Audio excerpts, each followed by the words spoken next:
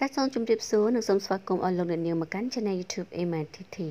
នៅពេលនេះផងដែរសូមលើកយកនូវព័ត៌មានសិល្បៈជាមួយចំនួនដើម្បីជម្រាបជូនទៅដល់អស់លោកអ្នកនាង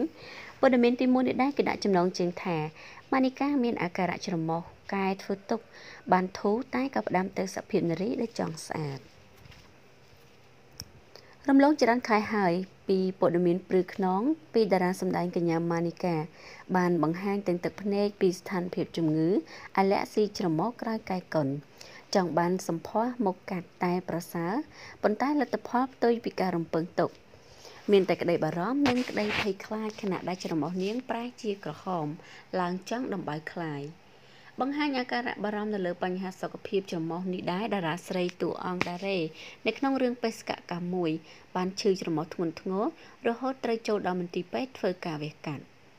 ក្រោយមកខ្លួនកើតអាឡែស៊ីច្រមុះដោយមានអាការៈធ្វើទុកឈឺក្បាលវិលមកអស់កម្លាំងហើយមិនបានចាប់អារម្មណ៍ទុករាប់ឆ្នាំរហូតមានខ្ទុះ ថែមទាំងប៉ះពាល់ដល់បំពង់កទៀតផងយ៉ាងណាមិញនេះដែរកញ្ញានីកាក៏បានបញ្ចេញវីដេអូផ្ដាំទៅបងប្អូនទាំងឡាយដែលអាចនឹងមានអាការៈជំងឺដូចដែលបានរៀបរាប់សូមមេត្តាកុំទុកយូររហូតដល់ធ្ងន់ធ្ងរដោយខ្លួនដោយម៉ានីកាបានសរសេរនៅលើគណនី Facebook របស់ខ្លួនថាសួស្តីពុកម៉ែបងប្អូននិងមិត្តភ័ក្តិទាំងអស់គ្នាថ្ងៃនេះនាងខ្ញុំចង់ចែករំលែកនូវវីដេអូឃ្លីបមួយនេះជូនដល់អ្នកទាំងអស់គ្នាពីអាការៈជំងឺរបស់នាងខ្ញុំហើយក៏សូមអភ័យទោសផងដែរដែលមិនបាននិយាយពីអាការៈជំងឺរបស់នាងខ្ញុំឲ្យបានក្បោះក្បាយជាងនេះដោយសារច្រមុះនៅឈឺហើយពិបាកដកដង្ហើមជាចុងក្រោយនេះខ្ញុំសូមអរគុណដល់ពុកម៉ែបងប្អូននិងមិត្តភ័ក្តិទាំងអស់សម្រាប់ការស្រឡាញ់បារម្ភនិងផ្ដល់កម្លាំងចិត្តដល់រូបខ្ញុំសូមអ្នកទាំងអស់គ្នាជួបតែសំណាងល្អនិងមានសុខភាពល្អគ្រប់ក្រុមគ្រួសារ ចាអញ្ចឹងគឺថាតារាយើងចាំមិនថាតារាឬក៏អ្នកនៅខាងក្រៅទេគឺថាគាត់ឥឡូវនេះនិយមនឹងចូលចិត្តក្នុងការកែសម្ផស្សផងដែរចាច្រមុះក៏ដូចជាមុខនឹងតែម្ដង ចាអញ្ចឹងបើសិនជាយើងធ្វើការកែកុនអីគឺយើងអាចរកពេលដែលគាត់ជំនាញជំនាញណាចាដើម្បីកុំឲ្យជួបរឿងស្ដាយក្រោយចាឥឡូវនេះបន្តជាមួយនឹងព័ត៌មានមួយទៀតចាគឺទូចស្រីលក្ខឆេះដុំចាចេះសម្ដីធ្ងន់ធ្ងរដាក់មនុស្សម្នាក់ចា ចឹងអ្នកនាងទូចស្រីលក្ខដែលរំលេចបង្ហាញភាពកក់ចាក្តៅក្រហាយលើបណ្ដាញសង្គមជាមួយនឹងពាក្យពេចន៍ឌីលធ្ងន់ធ្ងរថាអត្តចរិតរបស់មនុស្សមើលតាមរយៈការវិការពេលខ្លះព្យាយាមលាក់ចរិតពិតរបស់ខ្លួនដោយមិនចង់ឲ្យគេស្គាល់អ្នកបន្តថាចាតែអ្វីដែលខ្លួនព្យាយាមលាក់វាចេញឲ្យឃើញតាមរយៈទឹកមុខនិងការវិការដែលភ្លេចខ្លួនមនុស្សបែបហ្នឹងចូលចិត្តវាយតម្លៃគេដោយមិនស្គាល់ពី គេច្បាស់ពេលខ្លះចូលចិត្តគិតអាក្រក់ពីគេដោយសារខ្លួនធ្លាប់មានចិត្តមិនទូលំទូលាយចូលចិត្តតែផលប្រយោជន៍ផ្ទាល់ខ្លួនមិនបើកចិត្តទទួលស្គាល់គេដែលយកអារម្មណ៍គេមកដាក់ក្នុងខ្លួនល្អមិនសូវចូលចិត្តនិយាយតែអីខុសតិចតួចយកដាក់ក្នុងចិត្តធ្វើដូចជាគំនុំខ្ញុំខ្លាចមនុស្សប្រភេទនេះណា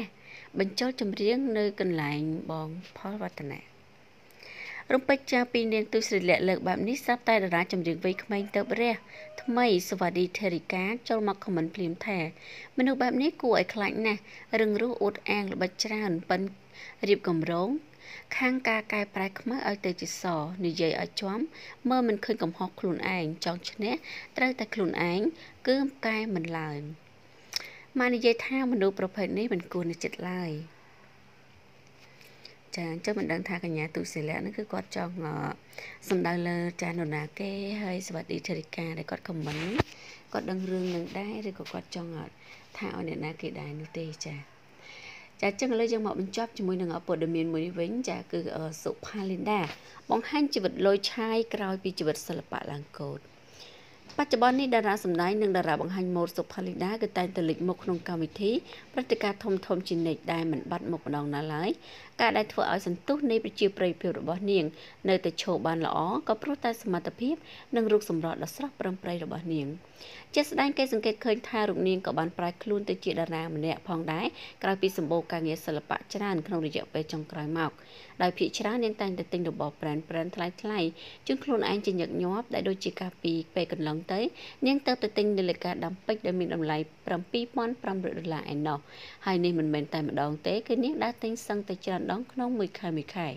មិនតែប៉ុណ្ណោះនាងក៏តែងតែចំណាយលុយសន្ធឹកសន្ធាប់ក្នុងការជ្រើសរើសលេងក្រៅប្រទេសជាមួយនឹងមិត្តភ័ក្តិរបស់នាងផងដែរដែលមិនខ្វល់ពីការអស់ប៉ុន្មាននោះទេចាអញ្ចឹងសូមអរគុណសូមបញ្ចប់ជាមួយនឹងព័ត៌មានយើងតែត្រឹមប៉ុណ្ណេះជួបគ្នានៅវីដេអូក្រោយ